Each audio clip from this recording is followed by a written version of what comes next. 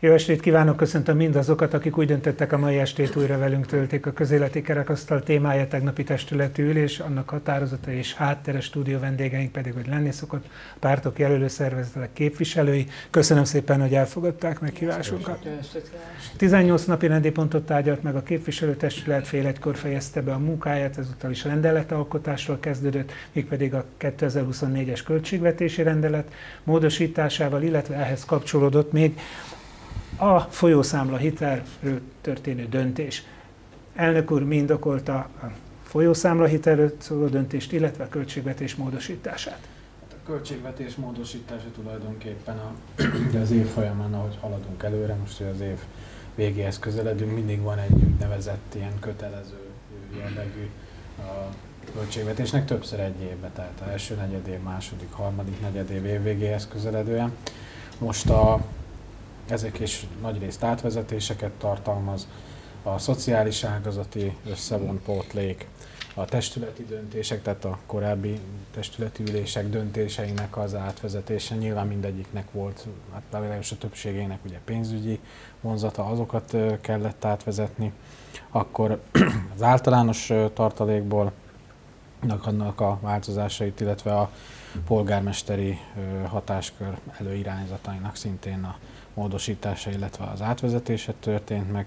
Továbbá az intézményeinknek is mindig vannak ugye akár a bérjárulékokkal kapcsolatos díjak, amik ugye felsőbb rangú jogszabályok vagy kormányzati döntések befolyásolnak, és akkor ilyenkor ezeket át kell vezetni. Tehát a nagy része most is technikai része volt. Ami a folyószámla hitelbiztosítás, ez sem egy újdonság, tehát ez a korábbi években is volt. Tulajdonképpen úgy működik, mint egy, egy hitelkártya, ugye, aki mm, magánszemélyeknek is ugye van hitelkártyája, nyilván az önkormányzatnak ugye folyószámla hitel. Ez tulajdonképpen arról szól, hogy a, ami pénzt tett előre gyakorlatilag megfinanszírozza, meghitelezi a bank, amit költ az önkormányzat, utána pedig ugye azt a, pénzmennyiséget folyamatosan visszatölti. Tehát egy ilyen rendelkezésre állásról van itt szó. Az összeg az csak azért ilyen nagy, mert egy tulajdonképpen egy kumulált, tehát összeadja azokat a, az egész teljes összeget összeadja a, a hitel és akkor azért tűnik ilyen magasnak, de valójában ez egy mozgó pénzmennyiség, amit költünk belőle, azt utána folyamatosan vissza is tölti az önkormányzat. A költségvetés nem, de a, a folyószámla hitelt megszavazták? Persze, természetesen, mert a, ugye a költségvetés lényegi változás nem volt, tehát azok technikai jellegű átvezetések, amikről elnök úr beszélt, ezek megtörténtek, vagy megtörténnek. Igazán a gazdálkodás, a pénzügyi irodának a munkáját segíti alapvetően ez, tehát helyre kerülnek az előirányzatok, nem lesz ebből gond. És hát a, tehát ilyen szempontból alapvető változás nem volt, tehát azok a problémák, amiket korábban mi jeleztünk, azok változatlanul fennállnak. Ami a folyószámla hitelt illeti, ott pedig hát gyakorlatilag arról van szó, hogy ugye az önkormányzati bevételek ciklikusan jönnek, miközben a miközben a, a pénzfelhasználás pedig folyamatosan történik, hiszen a finanszírozás ugye szavonta történik, tehát emiatt szükséges. Most, hogy ez, ez ugye a nagyobb költségvetés, ez nagyobb forrás szükséges hozzá, tehát ezzel nem volt gondunk. Igen. Hát a költségvetés, ez meg a hitelhez kapcsolatban azért elmondjuk, hogy a önkormányzatok a főbevételi adok március 15-én és szeptember 15-ig folynak be, addig viszont a működés finanszírozik el be valamiből, és ez a tartalék az, ha véletlen hozzá kell nyúlni, hozzá tudjunk nyúlni. Ez most számszakilag ugye ez két milliárd forint, tavaly ez másfél milliárd volt.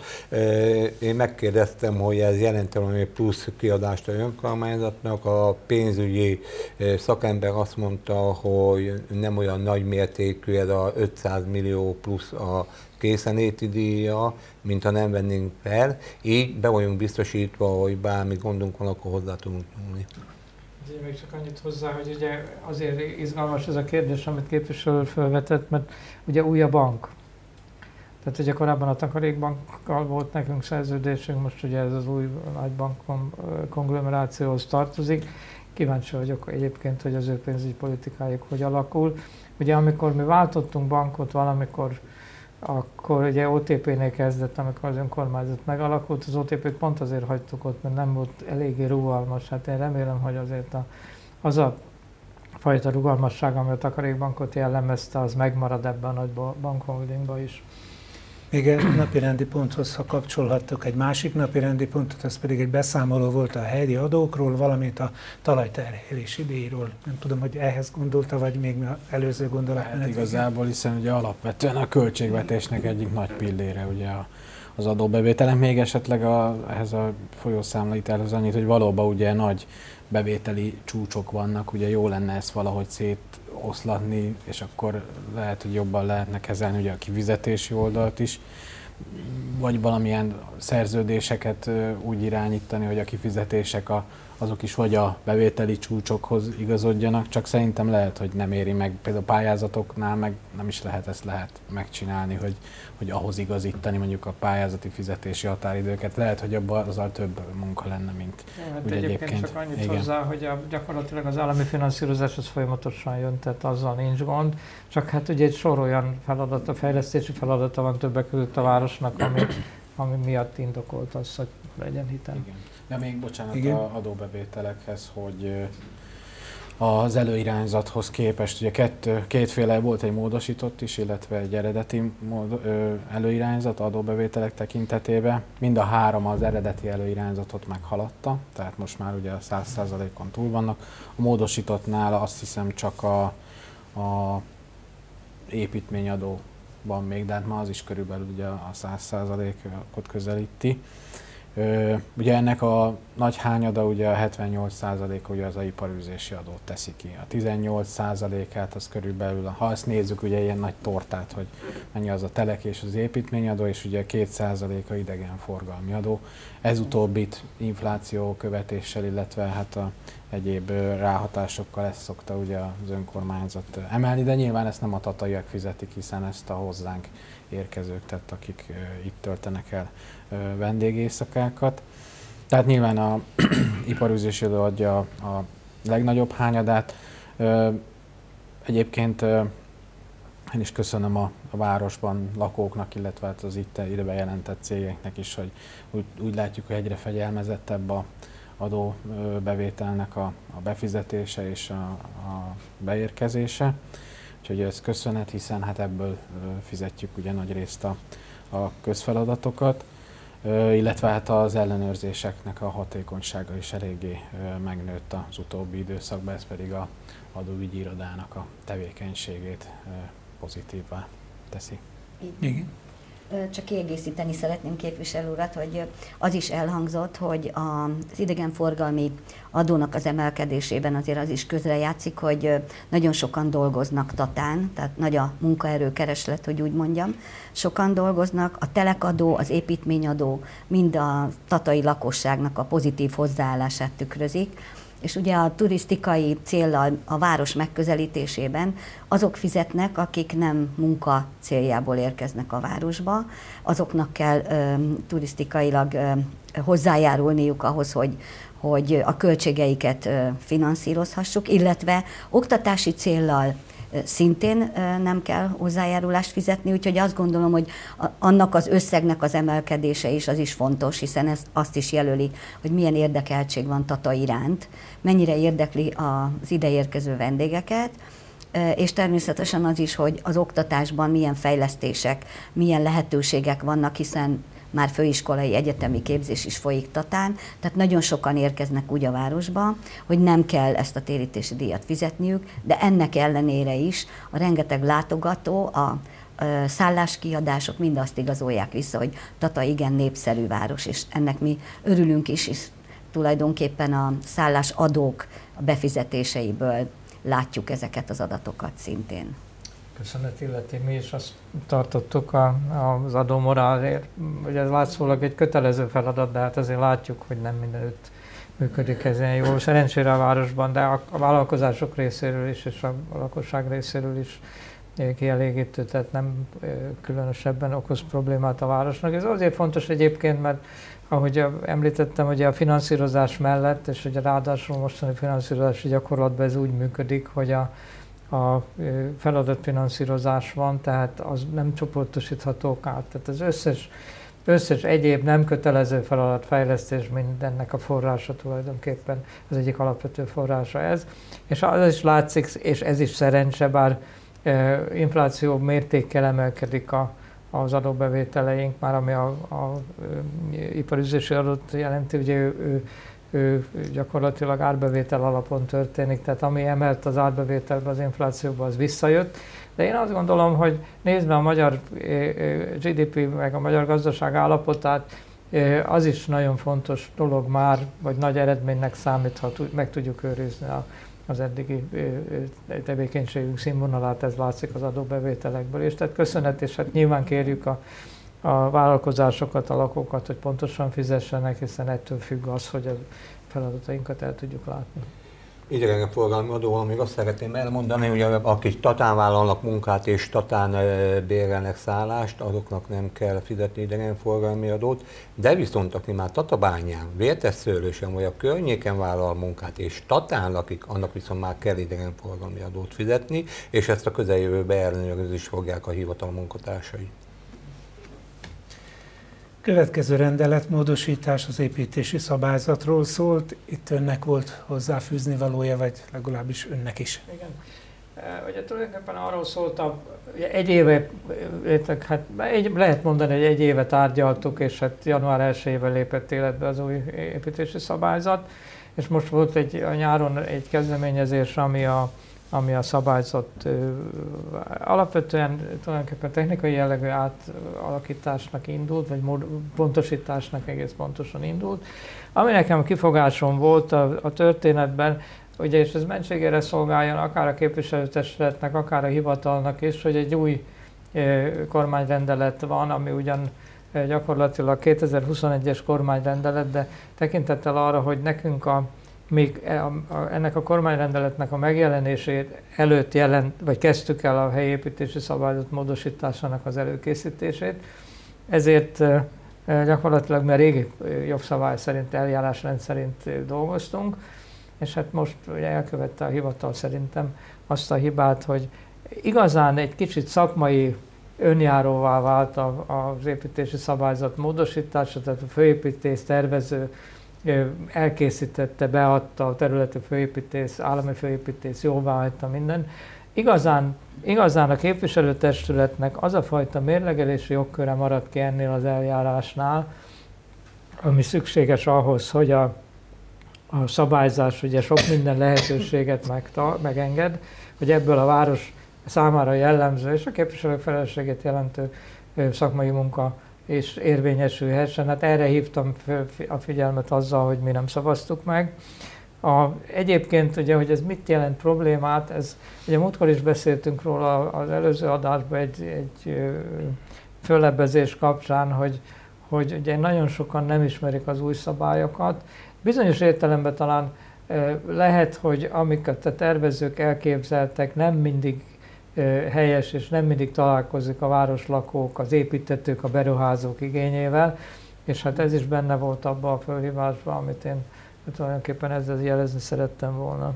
Igen, annyi előnye azért talán van, amit képviselő úr is mondott, hogy ugye a, még az előző szerint kezdtük el ugye a felülvizsgálatát a hésznek, ugye az még egy hosszabb eljárás lenne, és akkor most ez a már ugye a kormányrendelet utáni időszak, az pedig ez egyszerűsített eljárásrend, és akkor amikor megjön ugye a főépítési záróvélemény, akkor utána már nem lehet ugye hozzátenni. Hát nyilván a, ha nagyon sok benne a technikai rész, és akkor amikor egy valami szeretnénk ezen átfuttatni, akkor hogyha megint mindig a hosszabb eljárásrend, akkor az egészet újra kell véleményeztetni, átmegy az egész, és akkor hát lehet, hogy így azért egy kicsit rövidebb lesz a jövőben ezek az eljárások. Tehát ennyi előnye azért van.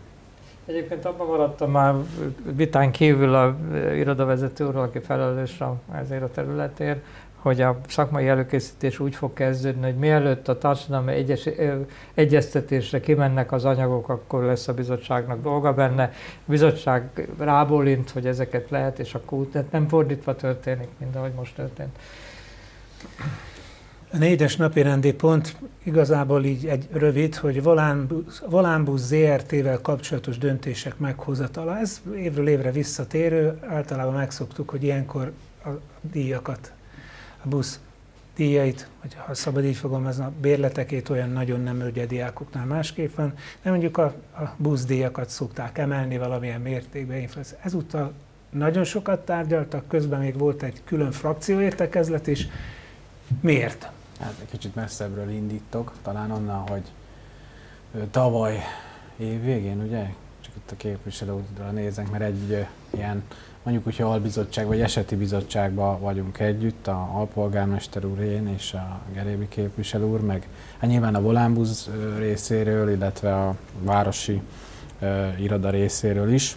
Ugye tavaly a, hát maga a járatoknak az útvonalai, kilométer, tehát azon volt, hogy hogyan lehet egy kicsit észszerűsíteni, korrekciózni, hogy kevesebb legyen ugye a, a kilométerfutás. Akkor jött az a döntés, ugye, hogy a helyközi járatokra már, tehát az már nem számít bele, azt már nem lehet igénybe venni, csak egy bizonyos szakaszon. Tehát onnan indult az egész történet, akkor az egy kicsit ilyen szakmaibb volt. Aztán ugye akkor az új menetrend az ugye januárban lépett életbe. Közben nyáron, illetve volt már, még ennek az eredményét ugyan nem tudjuk, de most már a mai döntés fényében még érdekesebb lesz, hogy volt utasszámlálás, amit az önkormányzati dolgozók végeztek, és akkor most érkeztünk meg, de még mindig nem a testületi üléshez, hanem a bizottsági üléshez, ahol tényleg nagyon élénk és hosszú vita alakult ki. Ugye a menetjegyeknek a módosításáról, hogy maradj. Több javaslat is volt, amit a Volánbusz is, az iroda is, meg ahogy a képviselőbizottsági tagok is látták. A lényeg az volt, hogy maradjon-e infláció, vagy maradjon ezen a, menetdíjak, ne legyen változás, ugyanígy a pótdíjak esetében is, vagy infláció követő legyen, vagy ha még nagyobb arányú emelés, akkor annak mi legyen a, a százalékos megoszlása. Aztán hát ugye jobban belenéztünk a számok mögé is, most ezzel azért úgy nagyon nem terhelném a, a nézőket, de annyit azért el szeretnénk mondani mindenképpen, hogy a, a menetdíjak például, hát nyilván egyrészt a helyközi járatoknak a kivétele miatt, tehát hogy a, a, azt nem lehet ugye igénybe venni, az már lecsökkent, tehát 48 millióról a tavalyiről idén 32 millióra. Ami viszont nagyon jelentős változás tavalyi vagy tavaly előtti évhez képest 60 millió volt a vesztességtérítés, most ez viszont felugrott majdnem a duplájára, tehát ilyen 120 millió csak a nagyságrendjét. Ha egy menetjegy árába akarom ezt átvetíteni, ez olyan, mintha egy egységnyit megveszünk, de a költség és bevételek szerint ennek kb. 8-szorosába kerülne. Tehát a, mondjuk úgy, hogy piaci áru menetjegy. És akkor most érkeztünk el igazából a, a mai ülésig, ahol még közben ugye egy frakcióülés is volt, és akkor ott azt a döntést hoztuk, hogy a hasonlóan a nyugdíjas és a diák ö, ö, igazolvány vagy bérletekhez ö, térítésmentes lesz akkor az összes ö, többi menetjegy ö, típus is. Nyilván amellett, hogy a, a diákoknak a hagytuk meg csak ezt 1200 forint illetosat, de azt is nyilván az önkormányzat fizette eddig is, ezután is most annyi a változás, hogy akkor a térítésmentessé lesz a többi menetjegy, illetve bérlet is. Nagy, nagyjából ez volt a története. Ebben nem volt vita. Hát de volt vita egyébként, mert a polgármester úr az 17%-os, tehát az inflációs fogadta volna el az előterjesztés szerint, igen, ugye javasoltam, hogy, hogy ne emeljünk tarifát, de ehhez képest nagyobb volt a húzás, de talán egy picit én is messzebbre indítanék, csak azért, hogy érzékeljék, akik nézik, a, hogy, hogy mekkora gondot jelent ez. 2019-ben 36-37 millió forintot fizettünk a helyi közlekedésért, ami, ahogy mondja elnök úr, idén várhatóan 120 millió forint lesz. Körülbelül ugyanazzal, sőt, hát volt egyfajta váltszervezés benne, ami igazán kilométerfutásban nem okozott problémát. És két dolog van mögötte. Az egyik az, hogy az állam folyamatosan visszavonult ebből a dologból, tehát ugye adott egy bérfejlesztést a sofőröknek, azt nem fizette meg egészen, rányomta az önkormányzatokra. Van ez a szociálpolitikai támogatás, ugye ez a nyugdíjasoknak, meg a diákoknak szól, ezt is már öt éve nem nyújt hozzá a központi költségvetés. Tehát valakinek meg kellett fizetni, ráadásul a, a maga a szerződés is úgy működik, hogy tulajdonképpen igazán a költségek, ugye ez veszteségfinanszírozás címen fut, egyébként semmi köze nincs a költségekhez, mert volt egy induló összeg a szerződéskötés elején, egy ilyen forint per kilométer összeg, hogy minden évben az inflációval emeltek, most függetlenül attól, hogy a közlekedési ágazatnak hogy alakult, üzemanyagok árának dolgai hogy alakultak. Ennek a vége az lett, hogy az önkormányzat egy jelentős összeggel emelte a hozzájárulást, a volánnak meg most úgy tűnik, hogy egy 20 milliós 20-24 millió forintos eredménye keretkezik ezen a járaton. Pont emiatt az elszámolási dilemmák miatt. Tehát én azt gondolom, hogy a tömegközlekedésnek egy nulla forint körüli összegre kéne kijönni. Most csak mondom, hogy azzal, hogy a polgármester úr egy nagyot húzott ebben a történetben, mi korábban is javasoltuk, hogy gondoljuk végig, ha már ennyit rakunk hozzá, akkor ingyen is adhatjuk. Akkor nem, nem, hát most elfogadta, mi is támogattuk. Tudnék, még egy számot mondok, hogy ha azt nézzük, hogy 32 millió forint volt a, a menetdíjbevétel, 20 millió eredmény keletkezett a gazdálkodás alapján, akkor tulajdonképpen igazán az önkormányzatnak egy 10 milliót kell hozzátenni, és akkor ráadásul igénybe veszik az emberek, mert ugye az lehetett látni, hogy ahogy csökkent a vásárlóerő, úgy fizette kevesebb, vagy volt kevesebb a vár, inkább elmentek gyalog, mint sem, hogy 25%-kal magasabb bérlet vagy helyárat fizessen. Úgyhogy én kíváncsi vagyok rá, hogy mi lesz a vége. Ez egy jó húzás volt, tehát én azt gondolom, hogy jó szívvel tudtuk támogatni. Igen. Igen, és külön öröm van számomra is, és nagyon bízok benne, hogy a tatariak is így gondolják, hogy ezzel, hogy ingyenes lesz a buszjárat, akkor nem kell kiválni a autójával a garázsból, nyugodtan elmehet a tömegközlekedési eszközzel a boltba ügyintézni, ezzel nem fogja a környezetet szennyezni, illetve bízok benne, hogy Tatának a forgalma ezzel nagy arányosan csökkenni fog, illetve a parkolási gondokon is enyhíteni fog. Úgyhogy ezért is támogattuk mi is ezt.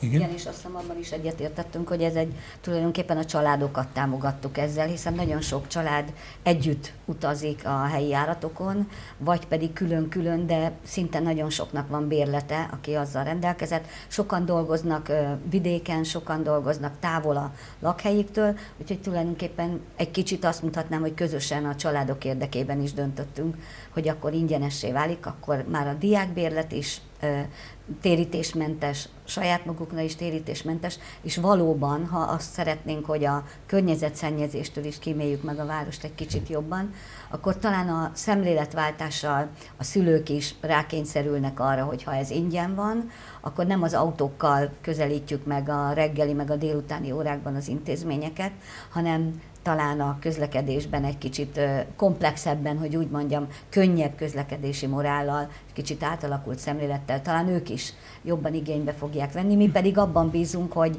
nem csak a népszerűsége legyen nagyobb, hanem a kihasználtsága is, hiszen azért működtetjük a helyi járatokat. Igen. Csak egy apróság igazából a, ugye, a 17%-os emelés javaslat volt még ugye ott a bizottság előtt, de már akkor is igazából ott a vita helyvében mondtam, hogy akár lehetne 17, 27 vagy, vagy 100 százalék, akkor se érnénk utol azt a nyolcszoros különbözetet, ami, ami ugye abból keletkezik, hogy a menetdíjhoz hozzátesszük ugye ezt a 32 millióhoz vetítjük a 120 milliós ráfordít. Meg még egyéb ráfordítás is van, hiszen még nem beszéltünk ugye a, a sofőrök béréről, a, a benzin vagy a gázolaj árváltozásokról, tehát számtalan milliók is apró részlete van még, úgyhogy aztán végül is a mai ülésen is javasoltam, ugye, hogy azért a, a eseti bizottságot hívjuk össze, hát azért még a részletek kidolgozásában azért még lesz dolog, tehát ezt még azért fenntartom, úgyhogy lesz még mit uh,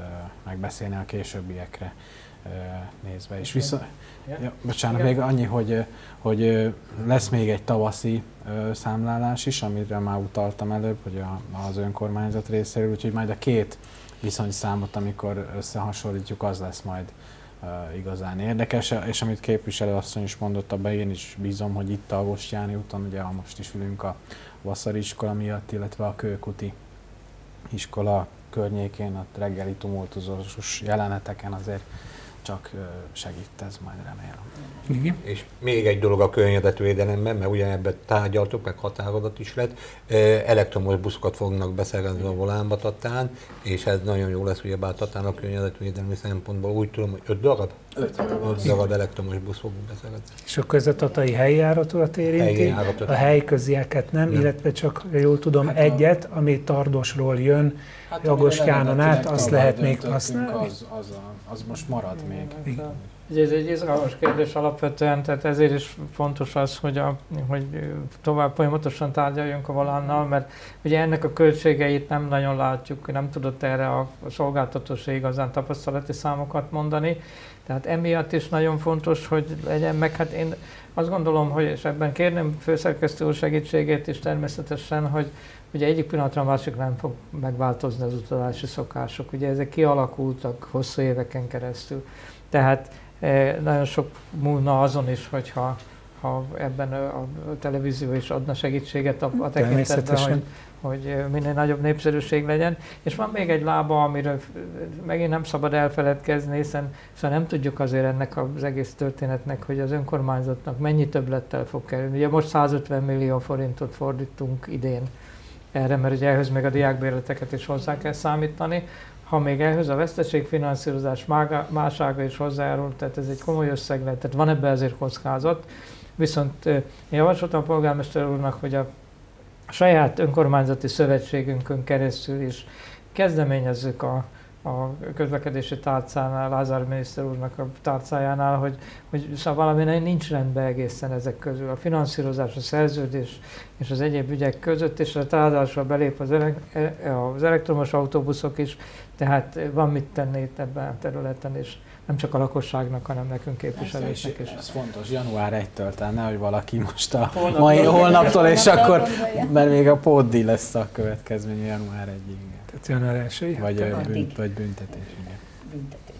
Ez azért fontos, mert egyébként nem tudom, hogy mennyire emlékeznek valaki történetileg, a- amikor a NDK-ban a határokat megnyitottak, hogy pontosan egy ilyen történet volt, hogy a sajtótájékoztatón a, a éppen ügyeletes pártvezető elmondta, hogy a központi bizottság úgy döntött, hogy át lehet menni holnap, át lehet menni, a, tehát megnyitják az NDK határokat, mindenki elindult, holott még az nem volt kidolgozva, tehát egyébként ténylegesen igaz, hogy január Van 1-től egy indul ez a történet. Előző alkalommal is beszéltünk róla, most is kellene, hogy beszéljünk, mert most is változtatnak az adatok, ez pedig a felszín alatt és felszíni vizek kérdése. Újabb mérések, újabb eredmények. Igen. Egyébként azt szeretném kiemelni, hogy köszönöm itt is a, a kollégáknak a munkáját. Ez egy nagyon alapos anyag egyébként, tehát aki a honlapot böngészi, javaslom. Tehát tényleg ugye a városnak a különböző területein a, a furt, vagy hát a figyelőkutaknak a, a, a szintjét méri. Most, ami talán ezt mindenki látja is, csak ugye ennek még a hatásai majd később jelentkeznek. Ugye most Hát mondhatjuk, hogy egy jó, hát a tavalyihoz é- évhez képest biztosan csapadékosabb az idei év, hogy nyilván a felszíni vizeknek majd a beszivárgásra a gyakorolt hatása ennek a csapadéknak, hogy mikor és milyen formába jön elő, hát azt majd meglátjuk. Jelenleg ugye a, talán azt mondható el, hogy a süllyedés megállt, egy ilyen stagnáló fázisban vagyunk, ami a, a kuta, figyel, ezeket a figyelő kutakat illeti.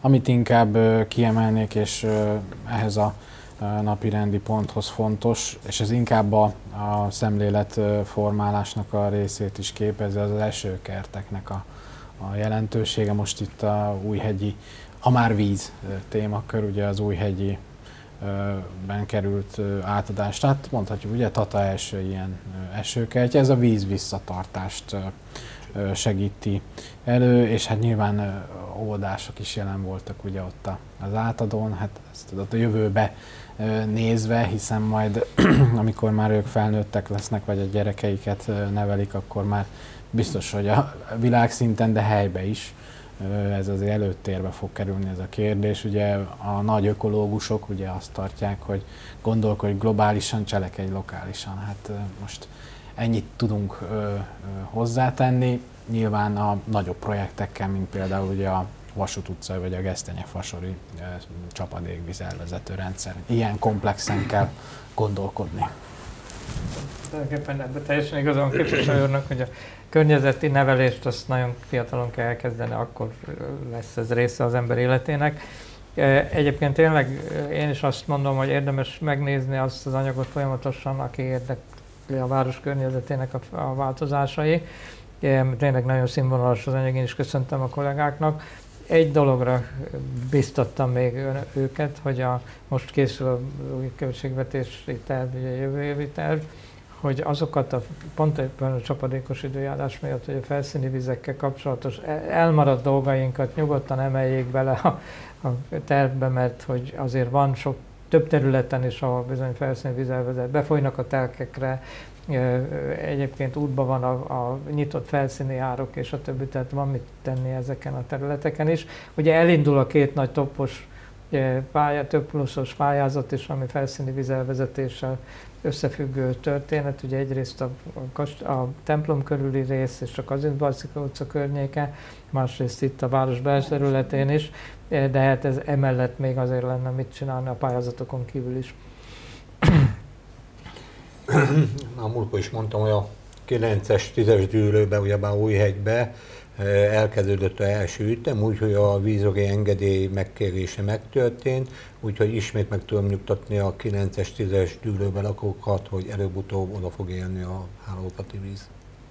Hát reméljük, hogy, igen, mert azért, azért az Újhegy, Újhegynek, az egész Újhegynek a vízellátása a felső résznek ott gond. Ugye egy részében a gerincvezetéket megcsináltuk, még a, a 2000-es évek elején, most azóta nem nagyon volt pénz, és hát a csatornázás a másik nagy ügy, ami ugye két nagy területünk az Újhegyen kívül a Bacsó lakótelep és környékének a, a problémájának a megoldása, és ami szükséges lenne, hiszen a, a, ott is az egészséges vízellátást megoldottuk a Bacsón, de hát a csatornához nem sikerült még pénzt szereznünk, meg lendületet sem magunknak, tehát azért van mit csinálni ezen a területen. Egyrészt, másrészt ugye a csapadék vízelvezetés, amiről szó volt, ugye az egyes ütem, kettes ütem, hármas ütem, hát a lakók már nagyon várják, hogy a lakótelepen és nálunk a május egy úton is például a harmadik ütemterben szerepel, már elindult a folyamata, tehát próbálunk minél előbb lépéseket tenni, hogy a lakók egy kicsit biztonságosabban érezzék magukat. Hát, ugye az is egy frekventált terület. Így van, így van. Az hát is és egy. akkor új utcáról ne is beszéljünk, Ugyanaz, ami a igen. város közepe és évtizedek óta nem tudtuk megoldani. Most úgy néz ki, hogy megoldást találtunk rá, hogy meg lesz oldóletik a csapadékvíz elvezetés, és bízunk benne, hogy előbb-utóbb már a út, út is meg lesz oldva, és jó Hát hozzá úton oda. az út is. igen. Tehát Igen, azt Igen, mert addig ez igen. volt a gátja az Igen, Igen, igen, de most a csapadékvíz elvezetése az Ez is is megvalósul. igen. Reméljük, minél előbb. Már részben szó volt róla, utalt képviselő a topos pályázatokra. Másik állandó napi rendi pont, amikor az Európai Uniós, illetve a magyar pályázatok helyzetét elemzi az önkormányzat. Itt volt egyfajta helyzetelemzés, de kiemelten volt még egy másik alpontja is ennek, ez pedig a harang láptól ez egy kerékpárutas történet volt. Igen, tehát annak a, a rendezése. Hát nyilván kiemelt ez a, de nem csak a, a városból kivezető, illetve hanem a városon belüli bicikliutaknak a összeköttetése. Ez is egy ö, fontos prioritás, amit, amit kiemelnék, és ez is most már elindult, ugye, hogy összekötni a, a Dunalmás fele vezetőt, és ugye a Tatabánya irányába vezető utat, annak a már korábban egyébként arról is volt szó, hogy merre vezessen az útvonal, de most már az is a, a helyére került. Úgyhogy Ugye az Alkotmány utcáig kéne elhozni a, abból az irányból a kerékpárutat, mert a, ugye már a, a Albatrosz vagy tehát tudjuk, a, az, akkor- tehát onnan gyakorlatilag onnan már járható, a, tehát ott megvannak a nyomvonalak, ugye ennek az összeköttetése hiányzik, és hát ugye az Agostyáni eh, kerékpárútnál ott pedig ugye az volt a probléma, hogy tehát műszaki megoldási problémák, vagy forgalomba helyezési problémák is megoldódtak, és hát most ugye ilyenkor az van, hogy a, az állam átadja az önkormányzatnak a, azt az állami tulajdonú közlekedési területeket, és hát még, még ugye Szomóddal van ott, ugye elég érdekes az Újhegynek a, a, tele, a területi határainak a változása, Mut- mutatja egy másik napi rend is, ami a, ami a laktanyával összefüggő területek rendezése volt, hiszen a, a laktanyánál és Szomorddal ott voltunk problémában, illetve hát igazán a honvédségi fejlesztés okozott problémát, mert a, a ugye különböző rendezési tervek, helyépítési szabályzatok vonatkoznak Szomódra természetesen, meg Tatára is. Most az ő fejlesztésük, hogy a laktanya területe is át, ilyen átfedést tartalmaz, úgyhogy ezeket folyamatosan tudjuk rendezni. Ugye egy nagy rendezés volt, biztos emlékszik főszerkesztő úr is a, a Günnernek, amikor a telephelyének a, a fejlesztése történt, ott is olyan hasonló területrendezési ügyeink voltak. Tehát én remélem, hogy, hogy ezzel most már nyugvó pontra jut az Agostáni kerékpárot, és le tudjuk zárni ezt a pályázatot is. Tehát tegnap vagy tegnap előtt zárták le éppen a, a, azt a pályázatot, ami a Magyar Tudásközpont és Könyvtárról szólt. Ezt, ezt szeretném meg ugye felhozni a sajtótájékoztató keretében is hallhattuk, hogy majdnem egy milliárdos költségvetésű projekt zárult le. Én úgy gondolom, hogy minden modern igénynek ki, el, ki fogja elégíteni, akár a felhasználói, tehát a kedves látogatók, akár a munkavállalói, a, a, ott dolgozóknak a, az igényeit.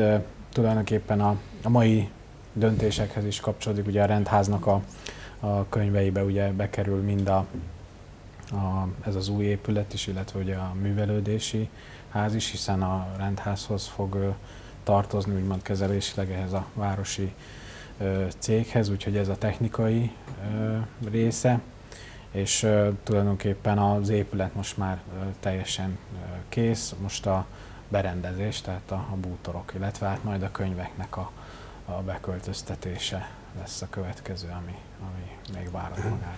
Igen. Nagyon örülünk, hogy lett egy új tudásközpont, Tatán egy korszerű. Bízok benne, hogy közeljövő annak is örülni fogunk, hogy Tatán lesz egy felújított művelődési otthonunk és úgy gondolom, hogy ennek a képviselőtestületnek, illetve a következő képviselőtestületnek a egyik legfontosabb feladatának ezt kell tekinteni, hogy igenis a régi művelődési otthon újból kell építeni, újból fel kell újítani, és annak ismét ugyanúgy kell ragyogni, majd mint itt a új felújított művelődési otthonnak.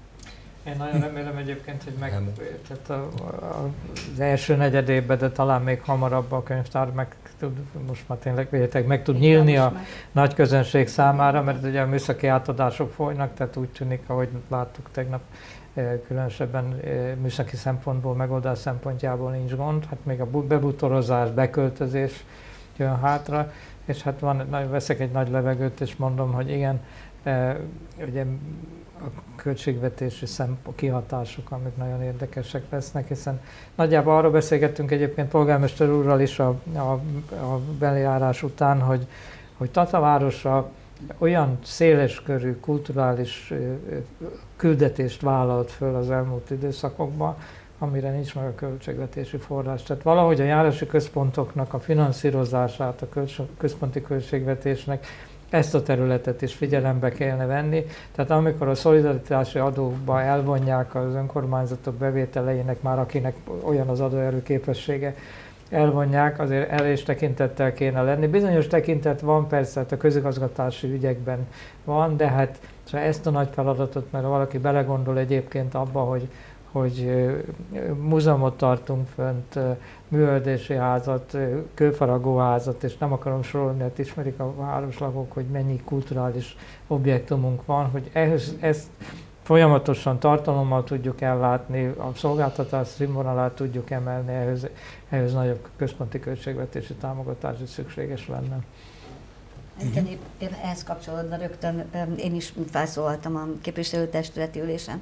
Éppen erre hívtam fel a figyelmet, hogy most elkészül majd egy tanulmány még a Magyar Zoltán Művelődés Központ tekintetében. Azt várjuk, hiszen a, a kapott 200 millió a tervezésre, az előpályázatokra némileg még maradt valamilyen összeg belőle, de hogy elindult, tehát hogy a tataiak azért tudjanak róla, hogy nem csak a tudásközpont épült fel, hanem ahogy képviselő úr is mondja, hogy történnek a lépések a Tata Szíve program keretében, és megyünk tovább.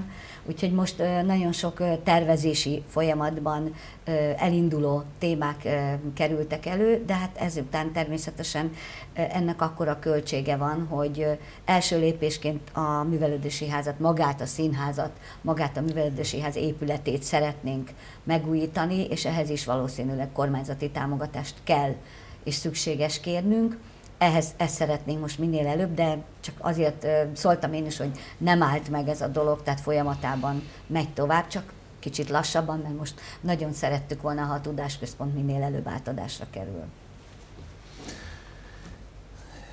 helyi választási bizottság tagjainak, póttagjainak megválasztása, illetve a jelenlévőknek az eskütétele volt egy napi rendi pont. Ön kérte, hogy erről az éressék szó. Nagyon fontos feladatot és szerepet tölt be a választási bizottság. Ugye ők elvileg függetlenek a pártoktól jelölő szervezetektől, tehát nekik kell a törvényességet nyilván a választási iroda mellett betartani. Nem szavaztuk meg azt a javaslatot, amit a polgármester úr beterjesztett a, a ülésen tulajdonképpen, hiszen előzetesen nem tárgyaltunk ezekről az ügyekről. Ez volt az egyik oka egyébként, ami miatt nem. Tehát mi azt gondoljuk, hogy, vagy azt gondoltuk, hogy, hogy egy ilyen horderejű döntésbe azért célszerű lett volna személyegyeztetést tartani. Jó, hogy egy része a, a jelölteknek már korábban vagy póttagja volt, vagy, vagy tagja volt én számomra, bár hát nem akartuk éppen a jelenlévőket megsérteni emiatt, hiszen nem ők tehetnek róla, akiket jelöltek, hogy, hogy, hogy ilyen helyzetbe hozzuk. De én azt gondolom egyébként, hogy a, az elmúlt eléggé zűrös népszavazási kezdeményezés kapcsán, és a korábbi bizottság vezetője is egyébként, aki most nem került jelölésre, azt gondolom, hogy alapvetően jól ellátta ezt az egész kényes feladatnak a, a megoldását. Hát én mondjuk őt is szóba hoztam volna, nem tudom, lehet, hogy ő nem vállalta már, ez nem tudom, nem derült ki az előterjesztésből sem, meg a magából a, a, a vitaindítóból sem. Tehát nekünk mögöttünk, mondom még egyszer, nem alapvetően a, a személyekkel van gondunk, hanem megint ezzel az eljárási rendel. Én azt gondolom, hogy ez úgy tisztességes, hogyha főleg egy ilyen orderei döntést azért megfelelőképpen előkészítünk hát feladat az lesz ugye most a jövő év tekintetében, tehát az új tagoknak. Ilyen szempontból nem biztos, hogy rossz egy kis frissítés, hiszen ugye egy napon lesz a, az uniós választás, akkor az önkormányzat, a megyei és a helyi önkormányzati ö, választás is, tehát ö, ö, biztos, hogy nem lesz, tehát a technikai részét tekintve, és ha jól számolom, ugye akkor mindenki négy papírt fog kapni Igen. aznap. Igen. Úgyhogy lesz, Jó, lesz, lesz, lesz feladatok. A helyi önkormányzati választásokban van szerepe alapvetően, de... Igen, csak de azért így is oda kell figyelni. Meg hát gondolom, hogy októberi hatályosulás lesz, akkor abban az időszakban is, hogy más nem októberben is lesz még szerepük. Hát ugye ez egy külön történet, a számomra nem egészen világos, hogy hogy fog. Ugye egy sajátos helyzet lesz, hogy június 9-én megválasszuk az új képviselőket, miközben ők valamikor majd október 15-én lépnek tulajdon teszik le, vagy hát lehet, hogy előtte az esküt nem tudom, lépnek funkcióba, miközben még egy fél évig működik, a, vagy hát nem egész fél évig, de egy jó erős negyed évet működik még a képviselőtestület. Tehát ez a törvényhozók felelőssége. Ez magasabb rendű jogszabály. Igen. Ez... Köszönöm szépen, hogy elmondták véleményüket, nézzük pedig meg. Köszönöm megtisztelő figyelmét, további szép estét kívánok!